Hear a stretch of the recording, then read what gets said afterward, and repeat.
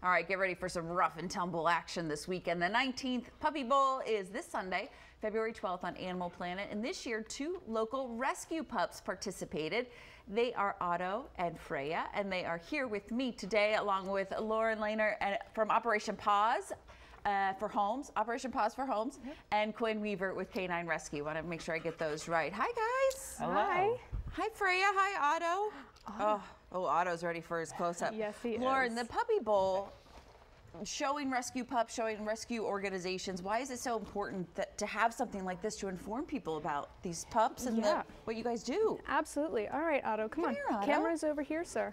um, so, you know, rescue is so important because, at least for us, without rescue, a lot of our shelter partners, um, they fill up with dogs and cats who are perfectly healthy and adoptable. Mm.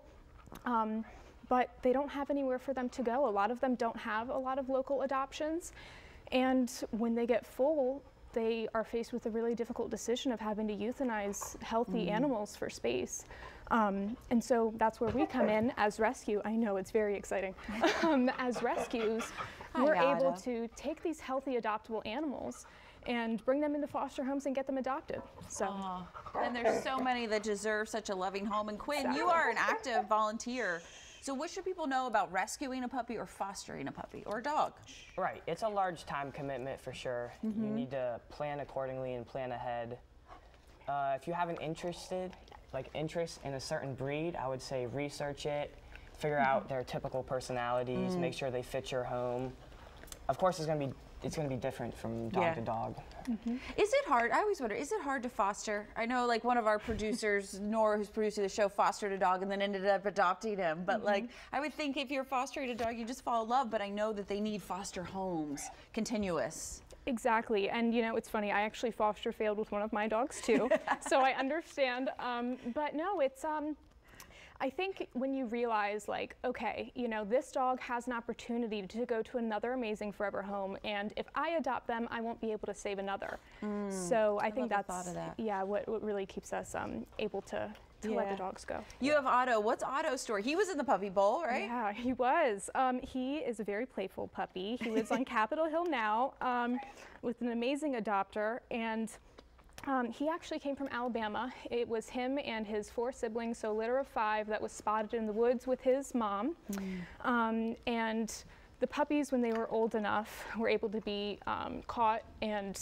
taken into rescue, but unfortunately they're still working on on trapping the mom to get her spayed. But oh, yeah. Um, yeah, so so Otto and all of his siblings have been adopted and oh, are living their wonderful. best their best lives. How yeah. old is Otto? That's a big boy. Otto is about nine months. He oh is. Oh my goodness. Yes. You are going to be a big boy. And then Freya, is she adopted or is she up for adoption? Yes, or? she's actually mine. Oh, mm -hmm. really? You yes, adopted her? I did adopt her. Oh, that's amazing. What has she brought to your life? It's it's been a very fun experience watching her grow up and train because I delivered her actually. Mm -hmm. I helped deliver her with oh, her.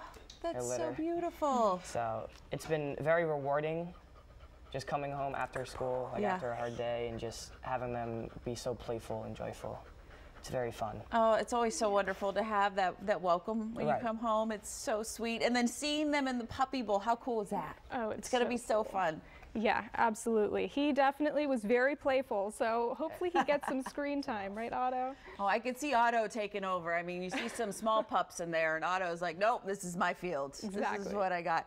All right, Lauren, how can people get involved in the y'all's respective organizations? What should we know? So at least for, for OPH, you can go to our website, ophrescue.org, um, and there are applications to adopt, volunteer, you can donate, and there are so many volunteer roles for whatever you're interested in and however much time you're able to dedicate. Okay. So definitely recommend that. And then for Knine Rescue.